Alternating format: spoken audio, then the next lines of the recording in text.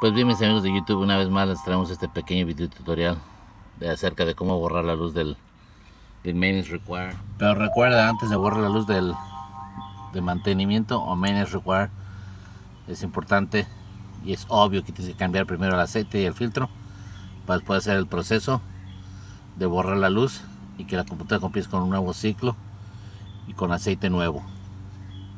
Así es de que vamos para empezar vamos a abrir el switch. Este es un Toyota Camry recuerden 2010 aplica varios años pero este es el modelo de, en el que estamos trabajando ahorita. Vamos a abrir el switch rápidamente.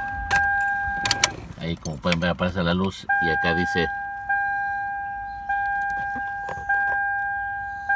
Trip A. Si aparece el Trip A cierren el switch. Puchar el botoncito el botoncito de, del odómetro que dice o que le dicen odómetro. Lo vas a mantener puchado vas a abrir el switch.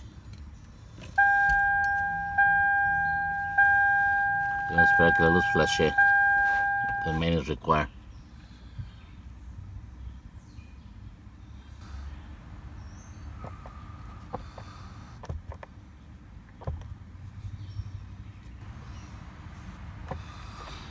Parece que no lo quise hacer una vez más.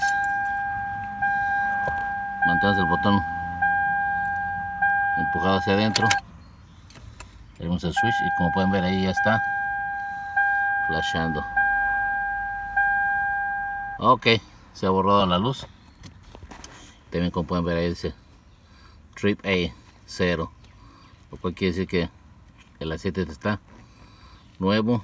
La computadora va a detectar que vamos a empezar un nuevo ciclo hasta que se vuelva a aparecer la luz del main require entonces nos vamos a preocupar de hacerle, de hacerle una vez más el cambio de aceite. Así es de que eso es todo amigos los dejo y ya saben su amigo de siempre Rómulo Hernández trayéndoles nuevos videotutoriales. Gracias